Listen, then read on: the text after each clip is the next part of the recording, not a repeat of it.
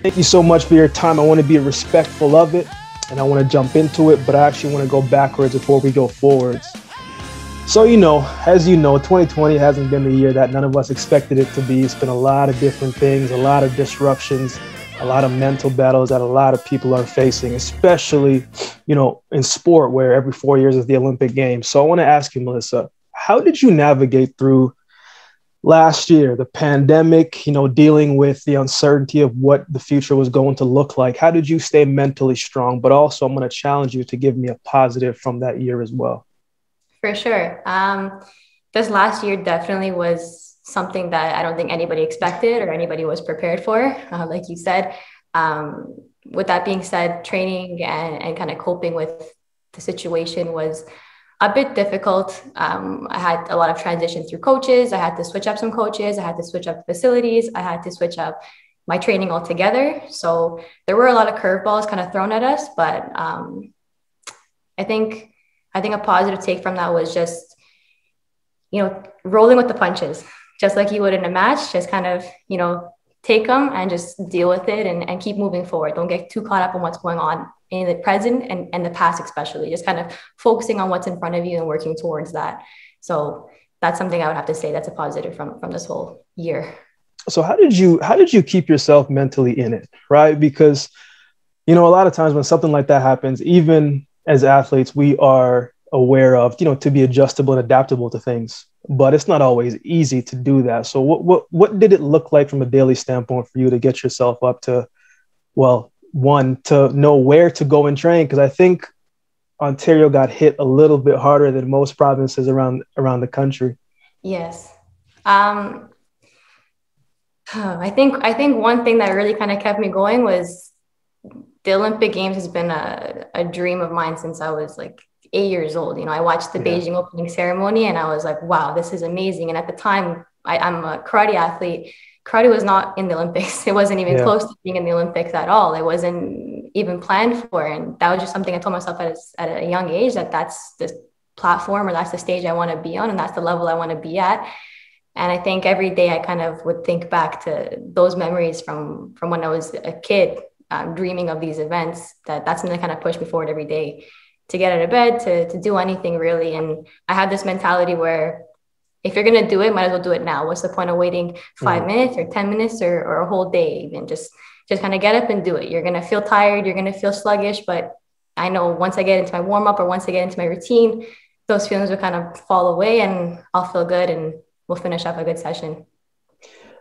So a family of four you know you have two older sisters and a younger one. Um, you were talking about your mentality of you know just go out and do it before we get into that aspect what was those summers like right because that's a full house right what what yeah. what, what was that dynamics like and i know as we go forward you know your your dad became your coach and was one of your coaches but what were some things that you remember most growing up and maybe some things that your parents instilled in you maybe directly or indirectly because mm-hmm. again you know all of your siblings uh, are involved in karate from what i understand which is just crazy.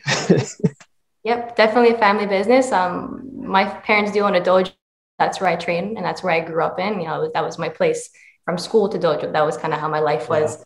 really up until the age of 18 um, so something that i would take away from my parents especially my dad being my coach is is the discipline aspect. That's something that he was very, very keen on and very, um, that was something he really drilled into our, into all of our heads. And, mm-hmm. you know, mm-hmm. he, he was a, a man of his word. So once he said something, we're going to do it. If we're having training at 7 PM, they're training at 7 PM. There's no if or buts, you know, and, um, I don't want to say like I, I, didn't focus on school and other things. Um, those were obviously in the picture, um, and we had to make sure we had all of those things done yeah. before we had our training. So um, it really kind of forced you to be very task oriented and get things done on time. Because if you don't do it at that moment, you know, you're going to be kind of late for everything else after that. And that goes for everything in life. You know, do something today, tomorrow might be impacted because of that.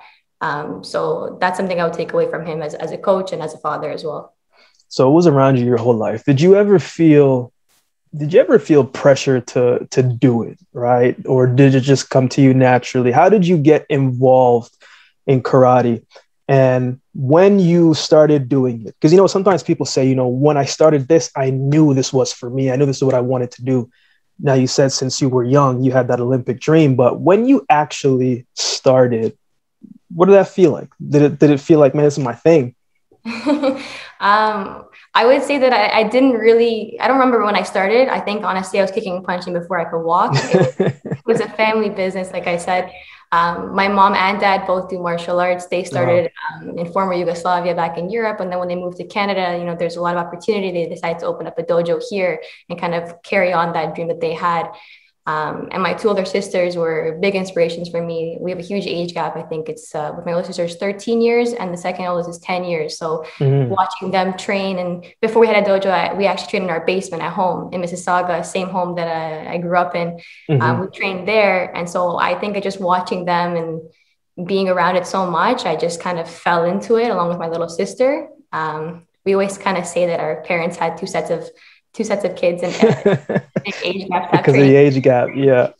You know, they have their own training partners and we were each other's training partners. That's kind of how we joke around, but I don't think that was the case.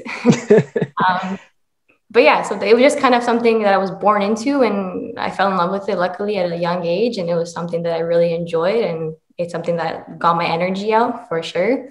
Um, so I think that's how I started. It wasn't really a set time or date. It just kind of happened. Mm-hmm so you're immersed in it. and You know, it, it, it's it's one of the like I've been watching a lot of karate videos to just try to understand the dynamics of it, and a lot of it, I shouldn't say a lot of it. Some of it is very similar to running when I used to run. But before we get into that part, you know, how obviously your dad was your coach. Yeah. How do you separate the two? Right? Because on one hand, hey, you know, you know he's gonna love you unconditionally, but on the other hand, he can probably push you to a level that you may not have been able to reach anybody else because he knows you mm-hmm. right? So how how do you navigate those two? How do you know when like yo dad like you're going too far here. Like come on like you gotta dial it back between like yeah. you know we can go more here. What was that dynamics like? Because i'm sure that had its challenges. For sure. Um, it's it's funny uh, our dynamic was pretty interesting um, from i think ages uh, i would say four to 11, 12, uh, we were very tight. We were, you know, he really pushed me into, into doing what I thought I couldn't do even at a young age. Mm. Um, whether it was even at the, at the park or at the dojo at the park, you know, I'd be climbing trees and I'd be scared at the top of the tree and he'd just be like, come on, keep going, keep going, just forcing me to do something that's completely out of my hmm. comfort zone. Um, and my sister would bribe me and give me five bucks. but it was the pushing from him for sure that pushed me to do that kind of stuff. And the same thing applied in the dojo. Um, you know, he, he pushed me at such a young age to do things that other kids were not doing. And when I went to competitions, it really showed. And mm-hmm. I think that a lot of other trainers and, and athletes alike kind of saw me as somebody who was up and coming, even at such a, you know, young age. Um, but I think everything kind of changed when I hit the teenage years. You know, you're not as cooperative. I, I think back now, I wasn't the the nicest person. I know, yeah. you know, you're, you're, you're you wake up from a nap, you don't feel like training. You're a little mm-hmm you got a temper going. So we had a lot of clashes on trainings, but that didn't stop us from getting our to our goals. Things still happened. We still moved forward. Even though there was some bickering back and forth, you know, my sister and I saying, we can't do, we can't do, I'm not doing this, I'm going home and kind of convincing you to continue on with the training and getting things done. So I applaud him for keeping up with us and, and uh, I don't know, cooperating, even though he's not cooperative at all. So I, I applaud him for that. Um, but it, it definitely kind of pushed us to to a new level and um, helped us reach goals that we didn't think could even be possible just with us two training. As I was watching some some film, I watched some of your matches and some others. Um, patience seems to be a big part in it, right? Knowing when to make a move, knowing when to kind of dial it back a little bit. Mm-hmm. Are you a patient person by nature? Like, do, are you, are you? Would you classify yourself as a patient person? Patience is definitely something I had to learn. Um, uh, coming into the senior career, uh, my senior career, sorry, in the senior field of, of, karate, patience is key, like you said. In juniors, you can get away with not being so patient, kind of um, shooting shots that maybe might not score, score, might score. You don't know what's going to happen, and, and things might go through. But in seniors, none of that flies. You have to know exactly what you're doing. You have to know exactly what you're going to throw, and you have to know exactly what's going to score. Because if you do that, if you do and you miss, that person will take advantage of that mistake you just made and, and that's it one point is a huge uh, gap in my sport. You know, if someone has good defense, they score that one point. That's it. You're down. You have you're, you're tired. You just wasted a minute and a half of, mm-hmm. of bouncing around, and that's it. You, you go home. You pack your bags and you go home. You all that training and all that uh, effort you took to get there, it goes down the drain with without the patience. So, uh, my earlier matches and in this my senior career really taught me that that was key and that's something that I had to focus on when I got home and and really kind of learn to control myself. And my brother-in-law and sister, I, I transitioned to them as my coaches, and um, they really taught me that. They really taught me to stay composed with myself, not let myself get the best of me, and um, I owe it to them for for the patience. You know, a lot of times we learn patience when we don't really want it to, right? You know, it's it's it's it's forced upon us. You talked about the transition from um, juniors to seniors. Give me two stories, Melissa, that forced you to grow, right? Like forced you to to really say, you know, something has to change here, right? Because I think every level that you get, obviously, you can be very good, mm-hmm. but then there's that level of greatness that takes something different, right? Walk me through maybe two stories that you're just like, man, it's going to take something else for me to go in and uncover this so I can elevate to this next level. Because again, you spoke about uh, knowing when, right? Knowing when to make a move, make a shot, but also knowing when that you have to take something seriously or knowing when you have to make a change. Yeah. Were there some matches that like that for you? Um, yeah, there definitely were a bunch of matches like that. Um, I would say I went through a lot of matches going into my senior career, not understanding why I was losing or why some things weren't working. Um, you know, I, I, was training my whole life. I was like, what is like, I, I train every day. I do multiple trainings a day. Like what's going on? Like I, I put everything into every training and I get there and I'm losing first round. That's how it was for a long time in my senior career. It was, it was first round and out. So you fly to Tokyo, you go home. You fly to Germany, you come home, you know, put all that time and, and effort into it and, and you don't get a payout. So it took a while for me to understand what was going on. And um, I think I think transitioning from one coach to the other. So when I uh, came home from all those events, my dad and I, again, we, I was a teenager, we were on the greatest terms. Mm-hmm. There was no communication going on.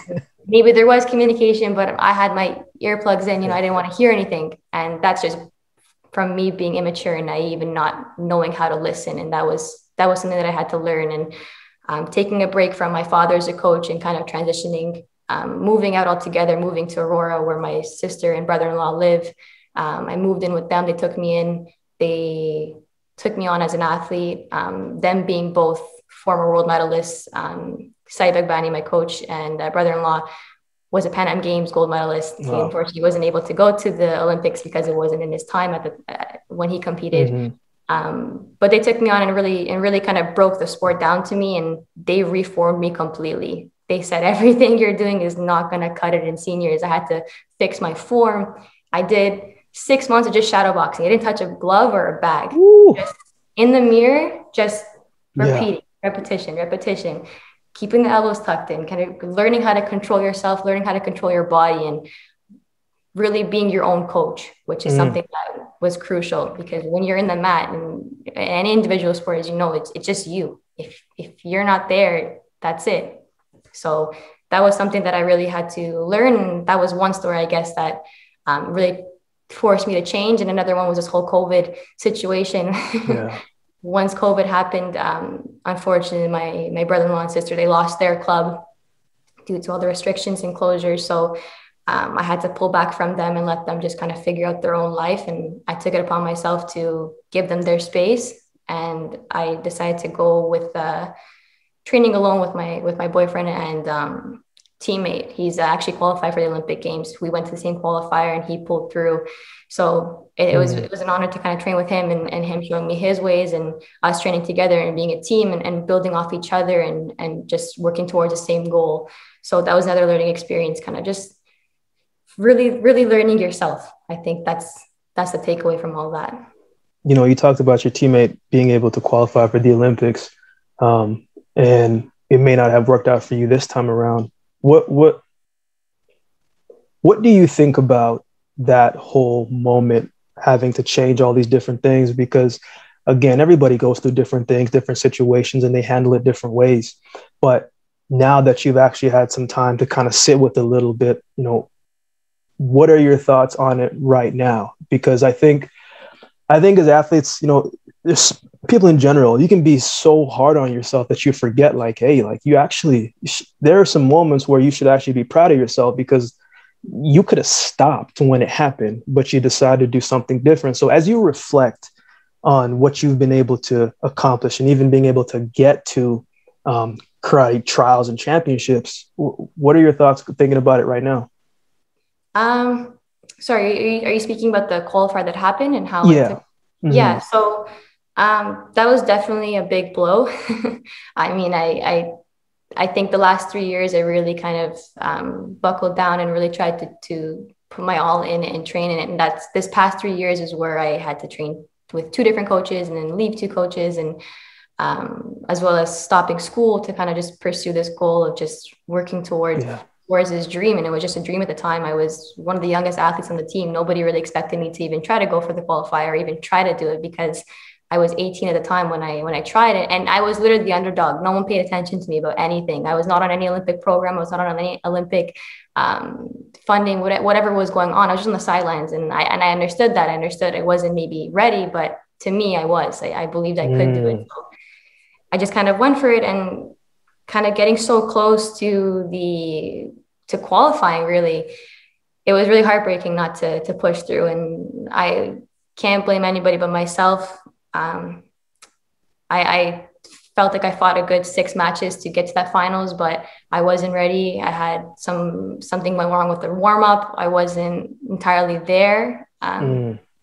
So I lost, and that was that. And when I came home, it was it was hard to realize like everything you just did for three years just kind of felt like it went down the drain. And I didn't move from my bed for like a few for a few days. I was just stuck there. I didn't want to eat. I didn't want to do anything. I just was I was like, what's the point? I just put all everything into into this goal and I didn't achieve it. So it took a while to kind of get out of that episode. And I had like phases where I would put on the gloves, take off the gloves, and come mm-hmm. to the facility and get like right away get to like this dojo or gym. And I'd just be like, I can't do this. I would go home. I was trying to get back into it. And it took a few weeks for me to finally kind of build up the momentum and, and find a new goal, which is um, the World Championships happening in November. And that's that's it. I'm kind of just I'm very task oriented. So once you give me a goal, I just work towards it and that's it. If I don't have a task, I fall apart. yeah. Yeah. You know, I think, I think a lot of people always talk about getting to the games and getting to these major championships, right? And what it's going to feel like once you get there. But I've always found like nobody talks about the other side. Mm-hmm. You know, like like nobody talks about the fact that you may not make it. It's a yeah. whole bunch of people that are trying to get to the same goal, but what if that goal doesn't happen for you on that timing. And so I think it's very important, you know, to understand that the the the journey and the process of everything, understanding that who you become along the way, despite if you get to the outcome, that's something that you can always take with you. Because with with uh with karate, with track and field, with these amateur sports, in the moment, man, people gonna support you, they gonna love you. But as soon as it's done, they don't remember your name they don't remember this and it's very short lived yeah. But you know and you spoke about it took you some time to get back into you know just mentally being there. Melissa what does success mean to you right? Like when when you step away from sport and your time comes to transition and do something else what does success mean to you what's your definition of success that's a tough one. I guess uh, my definition of success is as much as I want to say the outcome, you know, the goal that you set for yourself and achieving that goal, that is success in a way. But I think success is is the is the process. It's the journey getting there, and you learn so much about yourself, about the sport, about uh, whatever you're aiming towards. You learn so much in, on the way that the next time around, when you set yourself another goal, that it'll be a little bit easier in terms of controlling yourself, controlling your emotions, controlling your mentality, not letting yourself get into these episodes where you don't want to move because you didn't achieve what you wanted to achieve. You know, just constantly learning, and I think that's very important um, for every athlete, for every person. Is just just learn, not stop learning. It's it's crucial. How old are you now, Melissa? About 21, 22? Yep, 21, turning 22. You have so much more games left in you. Like your mentality alone is going to get you in the position to get there. You know, um, one of the things that that uh, that the older cats used to tell me, you know, they used to always say, you know, um, if you aren't patient during the seasons, you're never going to reap the harvest. And I used to be like, yo, what are you talking about? Like, I don't need this. I don't need this, this, this, this broken down. I, I just didn't understand at the time. But then what I understood was, you know, the patience that it takes each and every single day and the commitment, right? And the days where you don't feel like doing certain things and you choose to do it anywhere, the days that continues to make the biggest difference moving forward. So, yeah. you know, at you got at least three more left in you if you choose to, because it's the mindset and the mentality, right? And yeah. you've already moved on to the world championships, which is just as, you know, it's still a big event. It's still big when you set a goal for yourself, when you set your mind to do something, on the days where you don't feel like it, maybe you're tired, maybe you know some family stuff is happening. What are some things that you have to do for you to get yourself going, right? People always talk about self-care and this mm-hmm. and that, but self-care looks differently to every person. But yeah. what does that look like for you? What are some things that you have to do for you to get yourself right? Um, I would say on the days that I, you know, if something's going on outside or I don't feel like training, I don't, I don't have the energy for it. I give myself a, a mental checklist almost where as I'm prepping for this training and, you know, I'm getting my, in my head, I'm thinking I have my gear bag, put my stuff in my gear bag. Okay, check that off. I did one mm. little step closer to training or get my water bottle, get my electrolytes, get them ready. Okay, I have that. Now it's another checklist. Get my gi going, my, my attire that I wear, have that ready to go um, just getting into the car it's another checklist or i'm already driving i'm already committed to it let's go we're already going to horse training there's no there's no reason not to do it anymore i'm already going you know i get to the facility get changed another checklist get my warm up going on slowly. Sometimes i'll feel my, my body isn't cooperating. I'm, I'm getting into my warm up and it's not it's not warming up. It's not feeling great. My techniques feel heavy. My legs feel heavy. It's it's not great. Just kind of taking into consideration everything that's going on and, and, and going with it. And rolling with the punches. I don't feel that great. Just keep warming up slowly. Go for like a longer jog, slowly get into the stretch and start nice and easy and work your way up. So that's that's something I do when I'm not feeling ready for training, not feel like I don't feel like going. It just giving myself again these little goals and tasks in my own head to just keep me going forward, not staying still or going mm-hmm. backward. So just kind of make that first step out the door, you know, put your foot in the door, whatever the saying is. Yeah, yeah, yeah there's a there's a lot of sports. Um, you look at basketball, you have you know you have team around you, right right there in front of you. Football, you have a team around you. Um, a bunch of other you know team sports, you have a team, and in karate, you have a team. And in, in, track and field, we had a team, but it's very singular. Mm-hmm. Right, your your team is not on the mat with you. Yeah. What are some things, or or o- over the years, who are some people that that that have really maybe there was a coach or someone that said something to you that stuck with you because it can be very hard when you're preparing for something and then you get to a match and something may not have went the way that you want it to that's where your team can kind of help you there right maybe your coach is giving you a cue maybe something's happened but it's also important to have the right people around you when you look at team melissa what what what does that look like for you right? What are some dynamics that you see, right? Is somebody helping you with the playlist, right? They say, listen, I got the playlist ready for you. Somebody helping you with with your shoes, whatever the case may be. Because in track and field, it was my coach, uh, my therapist, and you know that was the squad. That's where we're going to meet, right? So what what does that team look like for you? Because even though there's people around you can still be lonely and, and, and certain things are amateur sports and funding can be hard and all these different things but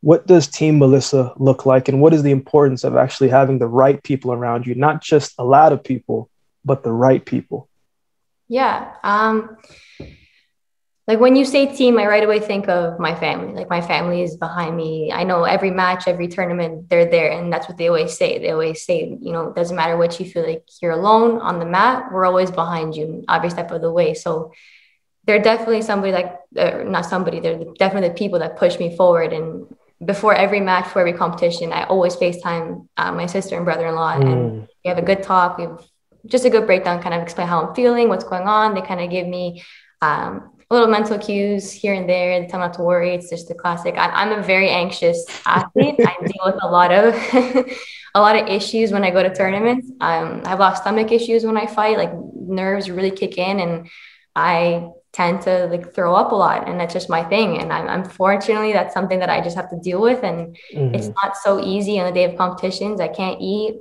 Um, especially with this last qualifier, I think nerves and, and stress really got the best of me, where I actually came down with like a fever and um, really bad stomach pains the day before. And just calling and talking to my brother in law and sister, they were able to kind of calm me down. And after that call, I was able to eat. It's just such mm. a crazy mm. psychological thing that happens. And uh, I'm working on it. I'm working with the sports psych, and we're trying to kind of get things in order. But um, it's I've dealt with this since I was the age of 13, so it's yeah. it's something that I kind of put into my routine the day mm. of the competition. You know, you're not you're not going to feel the greatest. You're not going to be able to eat, so make sure you eat the day before as much as you can because the day of you're going to be pretty much fasting. So just uh, deal with that.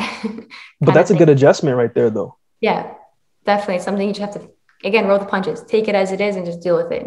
I don't know. I'm I'm pretty sure a lot of other athletes deal with some kind of anxiety and some kind of anxiousness the day of or day before or weeks prior, whatever the case is, and I know I'm not the only one, and um, I can't use that as my excuse not to do well. It's just something you have to take and just do and deal with. You know, I think I think nerves. I think nerves is a good thing, right? Because if you didn't have nerves, you probably don't care about what you're doing, right? Exactly. So, but being able to harness the nerve and use it to your advantage. You know, when I was at the Olympic Games or even in these big track meets, I used to say, like, man, am I the only one that's feeling this way? I know that these guys must be feeling it. But what I realized, Melissa, is a lot of times it's a big poker game. Everybody's nervous, but it's the one who can control that the most that really does well in whatever space that they're doing. But the fact that you said, you know, um, I know this now, so now I know to eat more, that is you already trying to correct and handle those nerves. And that is a skill that, you know, not a lot of people are able to do, the awareness of it you talked about nerves and being anxious and, and, and before you go to a match how do you handle pressure melissa? Because as the saying goes pressure makes diamond pressure bears perps. You hear all these different things but there's a method that helps people handle their own pressure. So how do you handle with the pressure of you know getting yourself up ready for a match? Yeah um, i would say i do a lot of um, like self dialogue i talk to myself a lot um, just within myself and um, I kind of have to get myself straight sometimes where I'm I, am succumbing to the to the pressure and I'm letting it get the best of me and I have to take a step back and be like, whoa, what are you doing? We've been through this before. We know what's going on. We know this is gonna happen. And just kind of talk to myself and and help get myself back into the right uh, gear and, and start just feeling good in the warm up. That's my that's my biggest um, my biggest thing is just getting the warm up in, feeling good. You know, sometimes I might have to warm up more aggressively and throw a bit more shots, where sometimes you just have to kind of tone it back, throw a, couple of shots in, and just go into the match um, just like that. Um, that's the other thing I think learn is not overdoing it. The warm up used to be something where I used to overdo when I was younger, um, pushing really hard and and trying to f- make up. I don't know, try to make myself feel good for for no reason when I know I, it's all better. I, have been there. exactly. I think a lot of athletes struggle with that too. It's just just trust yourself, trust the process. You've done it all throughout the trainings. You've done everything. You felt good a week ago. It's not going to change. Seven days is not going to do much. All right. just you have to keep yourself uh, and keep everything your your stress in, in um, at the right level, not too much and not too little. Um, so that's something I really have to do before my competitions and, and before I walk into the mat.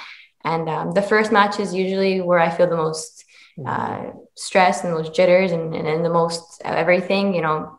But once that first match is done, then I kind of kick into gear. Adrenaline kicks in, and I rely on the adrenaline a lot. Once it kicks in, then you just kind of just everything, roll. everything shuts off, and that subconscious comes into place, and you can just you just see everything almost in like slow motion. It's great. it, it, you know, I like what you said there about uh, trusting. You know, the one thing that I always tell people when it comes to pressure, when they feel pressure, it doesn't even have to succumb to just sport, but in a pressure situation, the best thing that you can do is trust your training, mm-hmm. right? Because most people get to a pressure situation and they try and do something different. And when yeah. you try and do something different, it's just not going to work out in your favor. But if you trust what you've been doing, usually, you know, it, it, it goes well or you are able to handle it a little better. Yeah.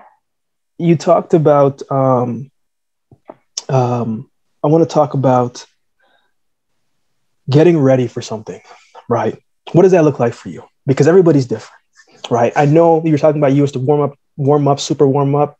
Uh, one time I warmed up when I was training and I warmed up too hard, right? But the music was gassing me up and I was getting too excited, yeah. right? How important is it, Melissa, especially in a sport as technical as yours, to find what works for you, right? Because you can't succumb to so many different things, but a lot of times the external voices make such a big impact on us, right? So, what would you say to someone um, who is trying to find their way of doing something? What are some tips that you would give to them from your experience?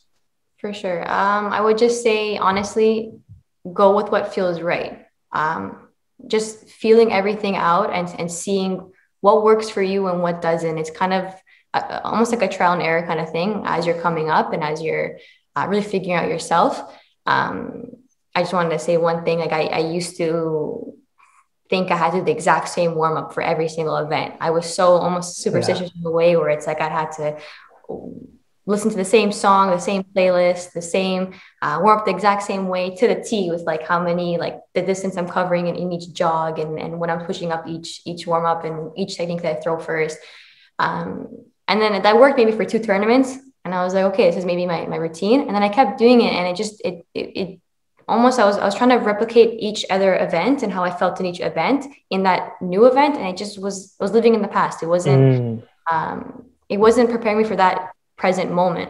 Yeah. So now what I do is I honestly don't even have a playlist that I listen to. I wake up in the morning and I kind of skim through my playlist and a song will just catch my attention and that'll be my song for the day. and that'll be it. I'll stick with that one song and I kind of like to listen to it on repeat just because it um, provides me some kind of routine in a way. And um, I just kind of go with, with how I warm up usually on my trainings. And if I have to stretch more one leg, I'll stretch one more leg. I don't have to do them the same way. I just want to feel good and, and make myself feel at home when I'm somewhere completely different. So mm. that, that's something I would say, is just kind of finding that routine that you do um, daily, but not sticking so strictly to it where you're scared to kind of step out of the boundaries and just just feel good, feel feel yourself, feel your body, feel how you feel, and and just go with it. Fine, you're comfortable. Yeah, that's that's that's very well said. Uh, last couple questions, uh, Melissa. If there was someone listening and you know they they they want to get involved in karate or they want to do something or maybe they're going through a tough time and they're not sure you know what words that they need to pick themselves up what is one advice that you would give to someone who is struggling mentally? You know maybe the nerves is getting the best of them. Maybe they're afraid to do something. You know maybe they just need some words of encouragement. What is something that you would tell them um, at this time in their life?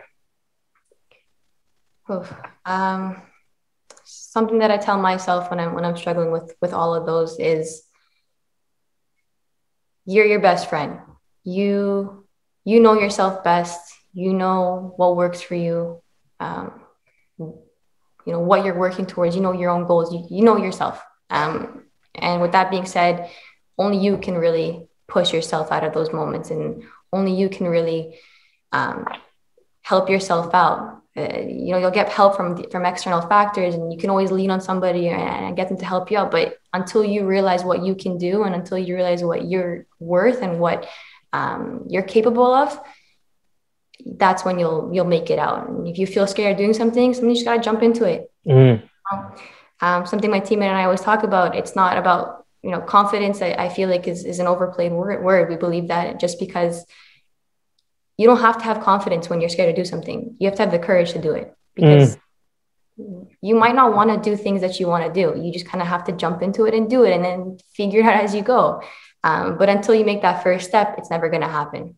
So I think you just have to kind of jump in and do it. And if you're stuck somewhere and you're and it's a dark place and you just don't know how to get out, just make any step forward. Any anything you can do, you know, whatever whatever it may take to just kind of get you out of bed. And sometimes you'll get out of bed and you'll feel like I I want to go back. And it's okay. it's yeah. okay. Go back. If that's what you need right now, that's what you need right now. Um, but I think it's it's a it's a big thing not to look around too much and see what other people are doing and compare yourself to what they're doing and how they deal with their situations and and how they got through things. I think you just have to feel yourself and feel um, what's right for you, and you'll know that. Once you get there, you'll know that. It's it's not something that has that can be forced on you, and it's not something mm-hmm. that's teach you. Unfortunately, um, I believe that you have to really learn yourself and, and learn what you need and, and how you can deal with things. Ooh, sometimes you don't need you don't need confidence. You need courage. Come on melissa. You're just preaching right now. I'm preaching right now. No that's that's that's that's spot on. I, am a firm believer that there's a lot of things in life that you're going to have to do scared yeah. that doesn't mean that you shouldn't take that step anyway you know? Yeah. and and and i think too many times we always have an idea of what we expect our plans to be like but then life is like nah we doing something else right? But you have to be receptive enough to understand that life is going to continue moving. We have to adapt. Exactly. life doesn't adapt. We have to. Yep exactly exactly well said last five questions melissa very easy shouldn't be too taxing nothing like the previous hard ones that we were doing right sure first question if you were about to be trapped on an island for a week you could only bring three things what are three things you're bringing, Melissa? Three things. Three things. Um, trapped on an island. Whew. Definitely my dog. My dog is my go-to. He's been he's been around through everything. he's my training partner. Yeah. Best friend for sure. Um, definitely probably like a cheeseburger, like an unlimited amount of cheeseburgers. I my favorite go-to meal. It's my favorite. I'll eat that any time of day, whenever it is. I know I'm supposed to be an athlete and supposed to eat cheeseburger, extra fries, some lettuce, some onions on there, yeah. some barbecue sauce. What, what are we doing? Guys, that's my go-to. but um, and one more thing. Whew. I'm not sure. I'm not sure. I guess uh, that's a tough one. I don't know. I'm a very indecisive person, if you can, you can tell. okay, let me help you out, Melissa. Okay, so so so you you know you can maybe need a sleeping bag, you know, to not lay on the sand. Maybe you need maybe you need a lighter because it's gonna get oh, dark there. Bug spray, bug spray for sure.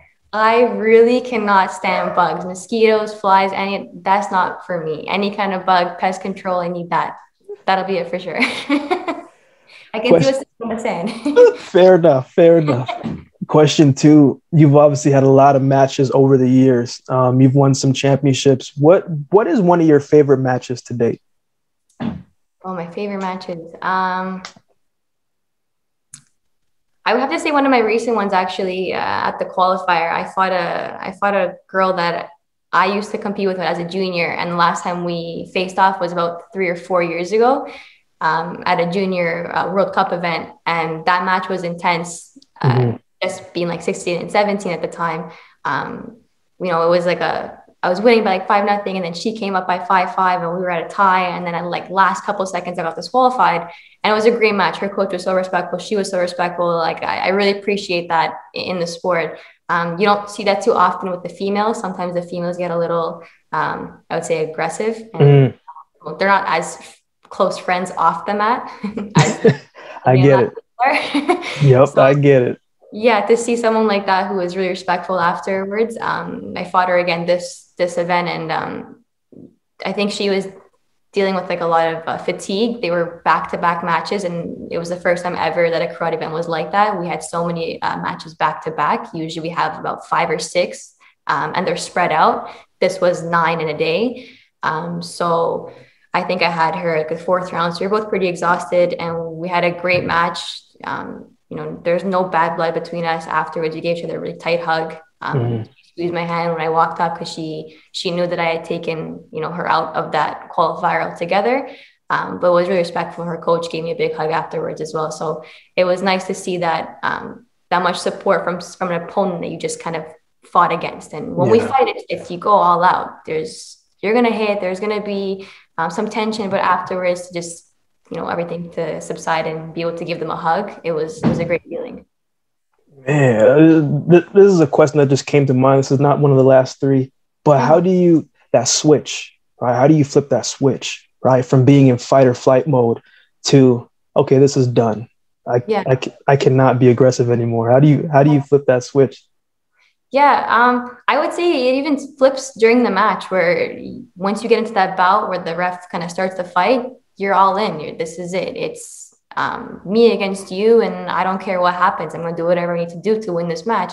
But then you'll see matches where, where someone's like shin guard will come off and that switch falls up, that turns off right away. And you kind of give them a props, okay, we'll restart the match. And you kind of restart the match on your own terms with the coach or the ref stopping you. And that switch comes back on. So how it happens, um, I'm not sure. It just kind of, you, for a second, you come back and you respect the athlete. And that, again, once it comes back on, you still respect them, but you know, you're going to do whatever you can to win. And then again, it switches off and you give them a high five when you walk off the mat. Um, mm. So I'm not sure what happens, how that how it goes on and off, but you just kind of have to force yourself to get into that all in mode and turn it off when you have to. You you better than me, Melissa, because once I'm in fight mode, it's it's fighting for the whole day. yeah, definitely have to learn that for sure. Question three: What is one movie you can watch every day? Oh man, it has to be Dumb and Dumber. That one is my go-to that is my go-to for every tournament. Um, that and White Chicks. I love White Chicks. It's like one of like the, the funniest movies to me. I know they're the older movies, but they just they make me laugh, and that's all I like to do. And if you can make me laugh, I'm I'm here to stay. That's how it is. fair enough. Fair enough. Yeah. What is okay? Here's one. What is one of the biggest misconceptions about Melissa Bratic? Oh, that's a good one. I think um, I don't have the most, I don't have the friendliest face when I'm just kind of hanging out. Um, it, it, it kind of comes off as mean, and I think people become a little intimidated by me, and they they think that I'm rude or um, I'm not gonna say the other word, but you know what I'm talking about. And uh, yes. Uh, so I think that's what comes off a lot of times, and um, I think once people get to know me, they they always say they're like, "Wow, I didn't expect you to be so kind of like outgoing and, and talkative and smiley." And um, I think it just when people see me, it's always in like a training environment or a competition environment or or wherever at a tournament, and I'm just not there to talk. I'm there to do my business and, and do my job and go home. So usually after the competition finishes, I'm I'm way more uh, fun to be around, but or after the training, sorry. Um, but before then, it, I come off as a little intimidating. I guess that's that's what I've been told, but I'm not like that at all. Last question, Melissa. You know, with with everything that you've been able to accomplish, everything that you've had to endure, everything that you had to overcome. If there was one word to describe you, what would that one word be? And then give me a couple sentences on why. Um, I'd like to describe myself as hardworking. Um, and I know it's kind of like a vague term, but um, I'm a person where when I set a goal or a task, I'm going to work to achieve that task and I'm going to do whatever I can to get there nobody's behind me or if a whole team's behind me, I'm going to go for it either way. Um, I don't like to rely on anybody for anything.